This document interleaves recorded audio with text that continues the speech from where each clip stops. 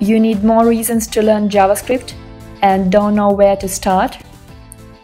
First of all, JavaScript is extremely popular. It can be used on the front end and the back end, allowing you to write full stack applications with a single language.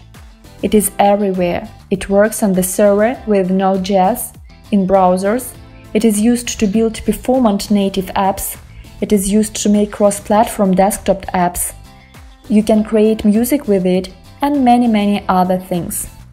JavaScript is a scripting language. You can do everything in the browser without any other tools, setting up environments, code editors, downloading compilers, and learning how to use them.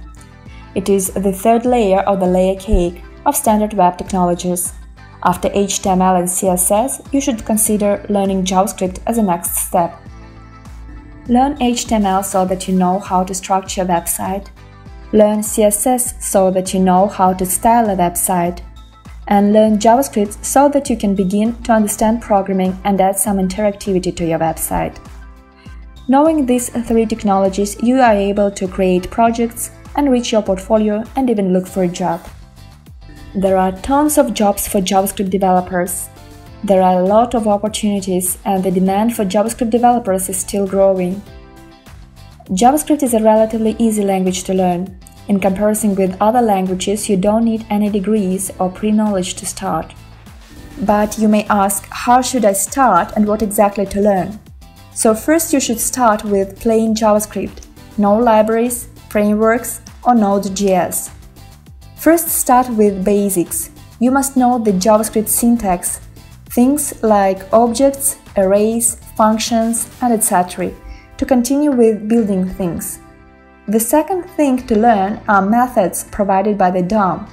This is about selecting elements, traversing the DOM, adding and removing things from the DOM, adding and removing event listeners, changing styles and classes. At this stage, you are able to apply your knowledge on projects. Try to build something simple like accordions, for example. Use Google and Stack Overflow if you are stuck. It's okay to copy and paste things at first, but you should understand the code you are using, its mechanics, and be able to modify it. And it is also important to learn best practices to make your code well organized. Now it's time for object oriented programming and functional programming. I also recommend you to start learning about querying APIs after getting the basics of JavaScript. APIs are ready-made sets of code that allow a developer to implement programs that would otherwise be hard to implement. They provide you with extra superpowers to use in your JavaScript code. There are two main categories browser APIs like DOM, Canvas, audio and video, and third-party APIs like Twitter API or Google Maps.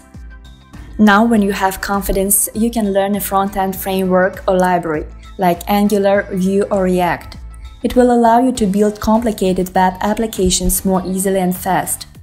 You can learn Node to build a backend. It is perfect for building a web application in which you'd like to maintain a persistent connection from the server to the browser. It is extremely fast and reliable. And you can also dive deeper into JavaScript and learn to write better and cleaner code. But note that you can learn any programming language only by writing it. So practice, solve problems, create projects, and don't stop and skip steps. It will be much harder for you to understand complex things without getting the basics, and you'd probably get bored and fail. Be consistent and enthusiastic. Let coding be fun and JavaScript easy. Please write in comments why you've decided to become a web developer and what topics you are interested in. And if you want to be the first to watch such free educational videos, please don't forget to like and subscribe to my channel. Have a good week and see you next Tuesday.